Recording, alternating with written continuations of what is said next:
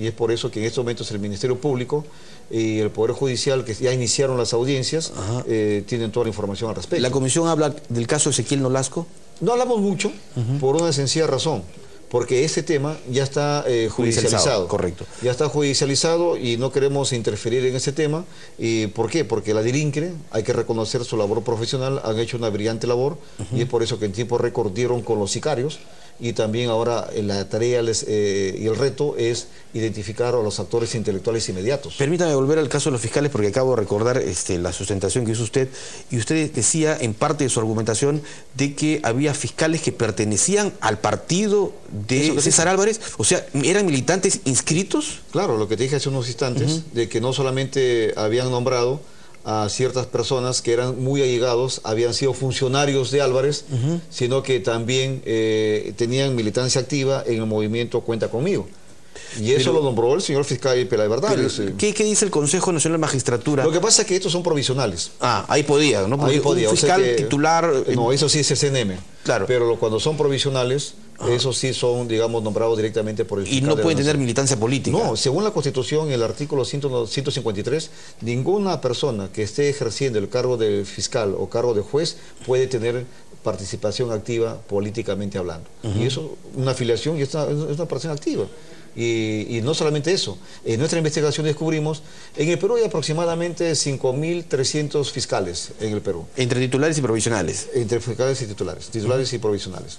De los cuales descubrimos de que aproximadamente 624 en los últimos ocho años habían tenido militancia activa política. O sea, más del 10%. 11%. 11%.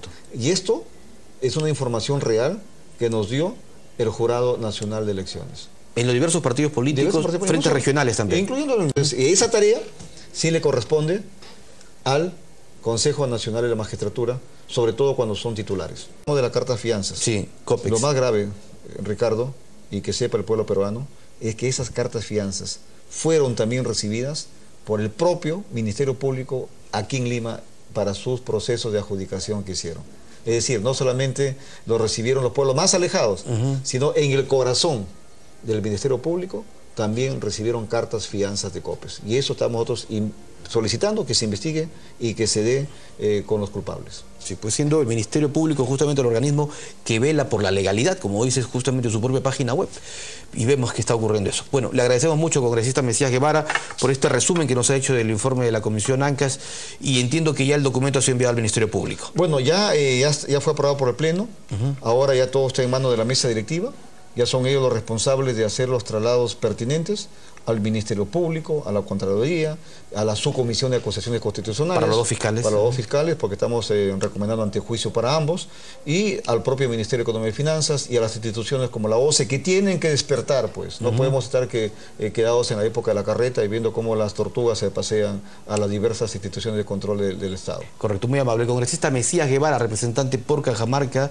de Acción Popular Frente Amplio y saliente presidente de la comisión que investigó el caso Ancas, nos contaba un resumen justamente de este voluminoso documento. Un llamado a todos los peruanos que sigamos pensando en, hacer patria y que pensemos con mucha esperanza, que ya dejemos el pesimismo y que pensemos con esperanza y positivismo, eh, porque así haremos patria de verdad, no solamente para uno, sino para todos los peruanos.